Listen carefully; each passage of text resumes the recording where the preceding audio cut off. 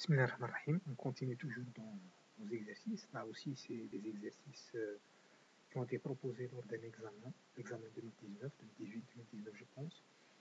Euh, il y a deux équations différentielles. On va les traiter une par une. je commence par la première. le premier, c'est un exercice qui a été proposé sur 7 points. Le deuxième, c'est un exercice qui a été proposé sur 6 points. Commençons donc par le premier. Résoudre l'équation différentielle linéaire suivante. on vous le dit, c'est une équation linéaire. C'est dit en plus, elle est du premier donc linéaire du premier x fois 1 plus log au carré x, y prime, plus 2 log x, y est égal à 1. Puis trouver l'unique solution qui vérifie y de e. Euh, e, c'est la base du logarithme népérien. y de e est égal à 5. Bien, donc je passe directement la solution. On nous dit que c'est une équation linéaire. Effectivement, c'est de la forme a de x, y plus b de x, y est égal à c de x. a de x, c'est ça, x fois 1 plus log au carré x. b de x, c'est de log x, et c de x, c'est 1. Donc, pour résoudre une équation linéaire du premier ordre, on commence par diviser ce qu'il y a devant y. On divise toute l'équation par x fois 1 plus log au carré x, ce qui me donne ça. J'ai divisé toute l'équation par le coefficient a de x. x 1 plus log au carré x. La deuxième étape consiste à intégrer ce qu'il y a devant y. Ce qu'il y a devant y, c'est ça. 2 log x sur x fois 1 plus log au carré x.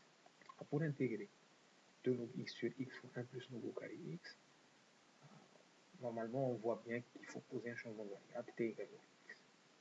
la chose à faire, lorsqu'on fait un changement de variable, c'est de calculer le dt. t égale x, dt est égal à 1 sur x dx. On voit bien que le 1 sur x, il est là. 1 sur x dx. Donc le dt, on l'a là. Là, je vais avoir 2t sur 1 plus t au carré dt. Donc i, parce que je fais le changement de variable, ça donne 2t sur 1 plus t carré dt.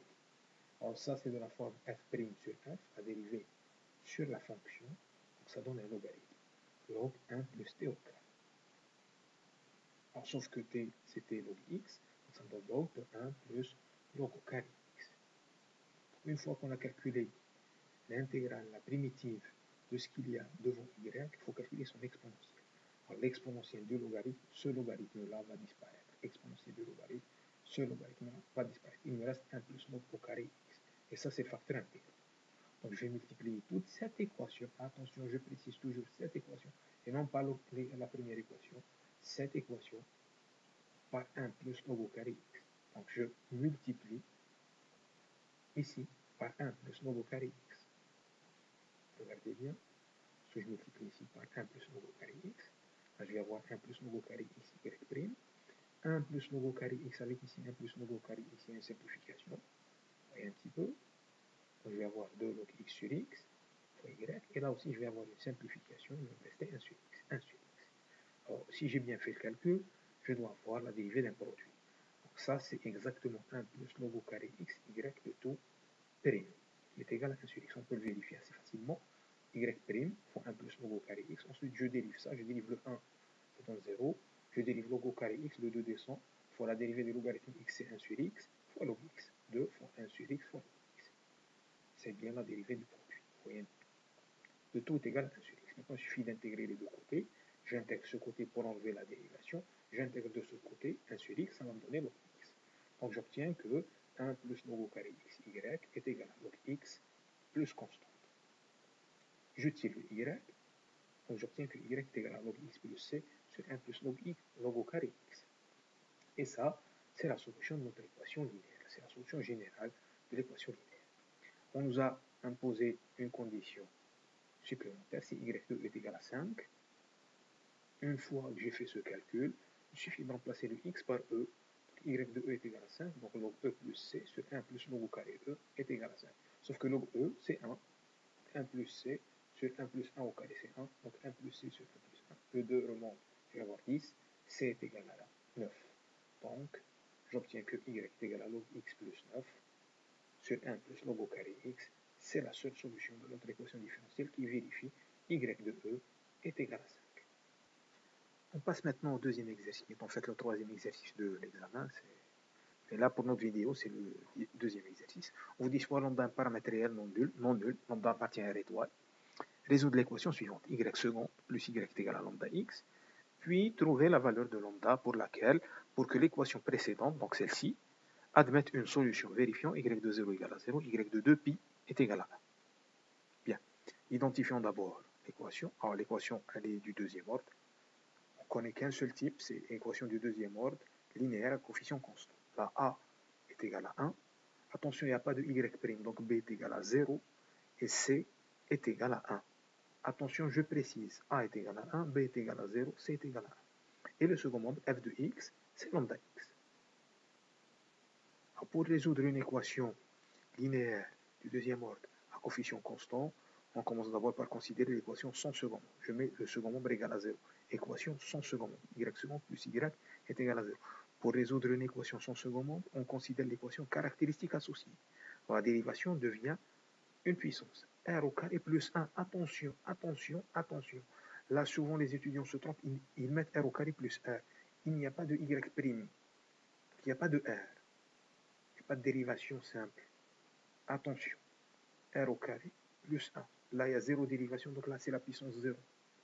Donc si R au carré est égal à 1, donc si R au carré plus 1 est égal à 0, nécessairement R au carré est égal à moins 1. Alors là, on doit passer par les nombres complexes.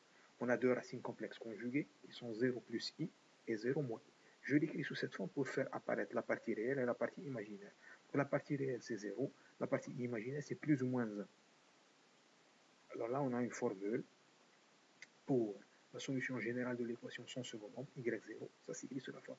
C'est un cosinus, la partie imaginaire. vous prenez toujours le, côté positif, donc plus 1. Si vous prenez le négatif, c'est exactement la même chose. Donc, euh, plus 1. Donc, C1 cosinus 1 fois x, plus C2 sinus 1 fois x, la partie imaginaire, fois exponentielle, la partie réelle, c'est 0 fois x. Puisque euh, exponentielle 0x, ça donne exponentielle 0, c'est 1. Donc, il me reste C1 cosinus x plus C2 sinus x. C1 cosinus x plus C2 sinus x. Ça, c'est la solution générale de l'équation sans second.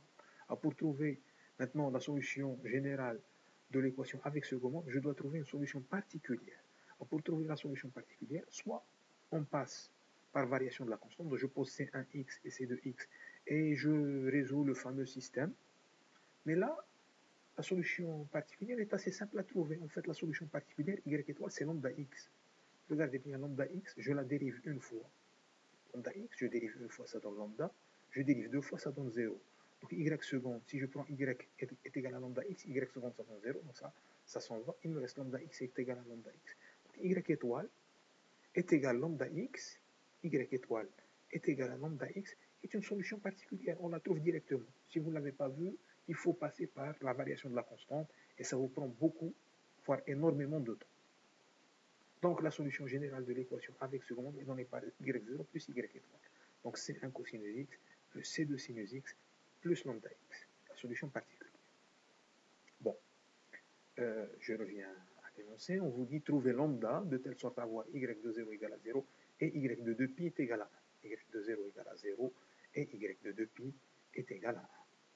Donc je remplace y de 0 égale à 0, ça me donne c1 cosinus 0 c'est c1, plus c2 sinus 0 sinus 0 c'est 0, lambda fois 0 c'est 0. Il me reste c1 est égal à 0. Donc forcément c1 est égal à 0. Bien. On nous dit y de 2pi est égal à 1 y de 2pi est égal à 1, c'est égal à 0, ça, ça a disparu. Donc il me reste C2 fois sinus 2pi, ça donne 0. Lambda fois 2pi, donc il ne me reste que lambda fois 2pi. Lambda fois 2pi est égal à 1. Donc lambda nécessairement doit être égal à 1 sur 2pi pour avoir y de 0 égal à 0 et y de 2pi est égal à 1. Donc lambda